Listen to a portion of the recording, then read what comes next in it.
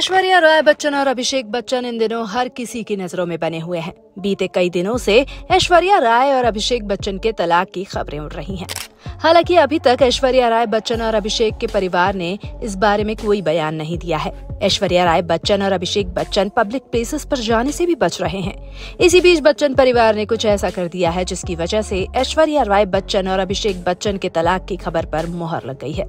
दरअसल आज ऐश्वर्या का जन्मदिन था और इस खास मौके पर हर कोई उन्हें बधाइयाँ दे रहा था।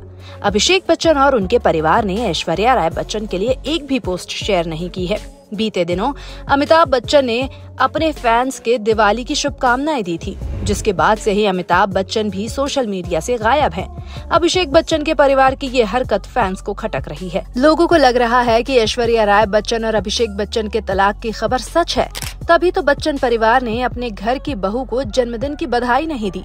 अंबानी परिवार की शादी में पूरा बच्चन परिवार मीडिया के सामने पोज देता दिखाई दिया। वहीं ऐश्वर्या राय बच्चन अपनी बेटी के साथ पहुँची थी। यहाँ पर बच्चन परिवार के किसी भी सदस्य ने ऐश्वर्या बच्चन को भाव नहीं दिया। इसके बाद लोगों को यकीन हो गया था कि ऐश्वर्या राय बच्चन की शादीशुदा ज़िंदगी ठीक नहीं चल रही है।